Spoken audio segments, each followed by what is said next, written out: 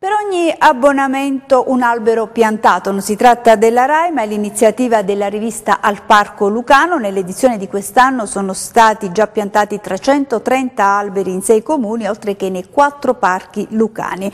Domani saranno piantati altri 100 lecce autoctoni a Satriano, in mattinata nei giardini dell'Istituto Comprensivo, nel pomeriggio vicino alla chiesa di San Donato alla presenza dei lettori abbonati.